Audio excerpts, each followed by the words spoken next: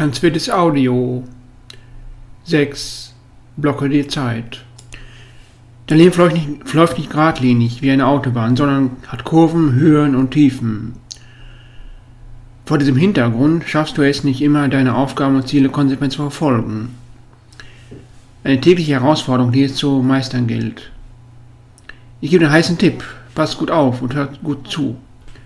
Schaffe dir Zeitfenster. Wenn es nicht, wer kennt es nicht? Da willst du eine Präsentation für das nächste Meeting, eine Grafik für einen YouTube-Kanal oder einen Roman anfangen zu schreiben. Du nimmst dir fest vor, sofort nach Feierabend zu, nach Feierabend zu beginnen. Doch was passiert? Du legst dich hin, willst ein kurzes Nickerchen machen oder ein, dein bester Kumpel klingelt an der Tür und möchte dir in die Kneipe gehen.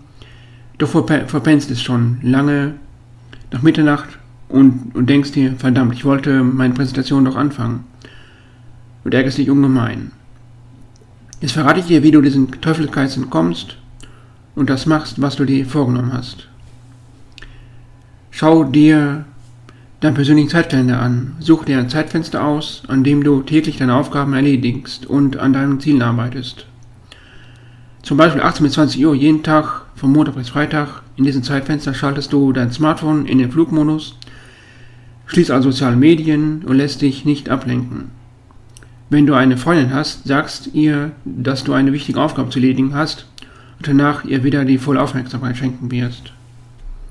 In den zwei Stunden deiner Schaffenszeit fokussierst du dich zu 100% auf die Erstellung deiner Präsentation oder welche Aufgabe du auch immer zu erledigen hast und wirst erstaunt sein, wie weit du kommst.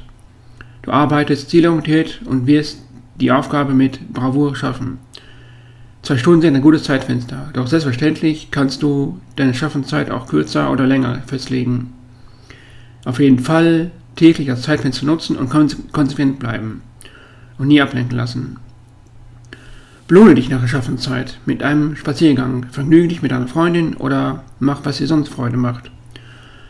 Bleibe gesund, fit und fröhlich, dein Tanzwitty Andi.